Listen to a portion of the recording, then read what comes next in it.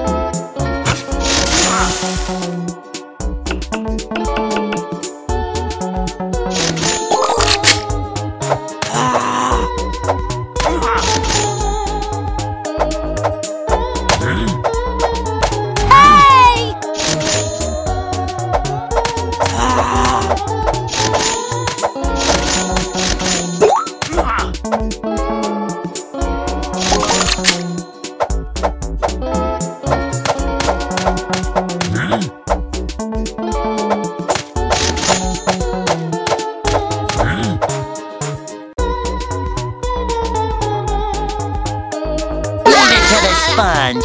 I got it!